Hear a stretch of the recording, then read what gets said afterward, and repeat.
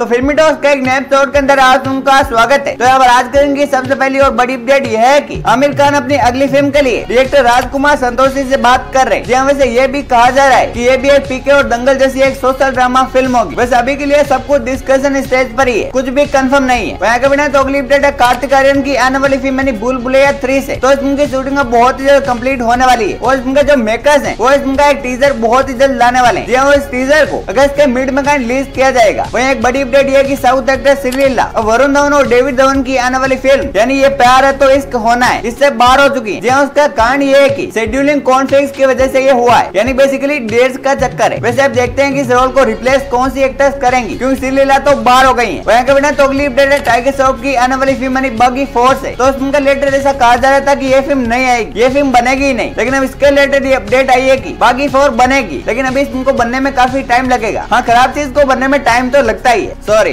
तो उनके प्रोड्यूसर यानी साजिद वाला का ये कहना है कि सिकंदर और हाउसफुल फाइव के बाद उन फिल्मों की शूटिंग जब खत्म हो जाएगी तब वो उनकी शूटिंग को स्टार्ट करेंगे वहीं सबके ऊपर से आकर बढ़े तो अपडेट है प्रभास की आने वाली फिल्म मानी राजा साहब ऐसी तो उनके जो शूटिंग है उसे सेकंड अगस्त को स्टार्ट कर दिया जाएगा जी वैसे तो राजा साहब की शूटिंग अभी चालीस परसेंट हो चुकी है और जो बाकी की शूटिंग है उसमें प्रभास के पोर्सन को सेप्टेम्बर महीने के एंड तक खत्म कर दिया जाएगा वैसे उनके लिए आई एम फुल्ली एक्साइटेड वही पहुंचा चाहते हैं आज के दिन की आगवी अपडेट पर जहाँ पर आज के दिन की आगवी अपडेट यह है रामपोती ने न्यूज संजय दत्त की आने वाली फिल्म यानी डबल आई स्मार्ट का जो ट्रेलर है उसे चार अगस्त को रिलीज किया जाएगा वैसे सभी के लिए इस फिल्म की हाइप इतनी नहीं है अब देखते हैं की ट्रेलर फिल्म की हाइप को बढ़ा पाता है या फिर नहीं तो कैसे आज की वीडियो के अंदर इतना ही मिलता है जलीज नेक्स्ट वीडियो के अंदर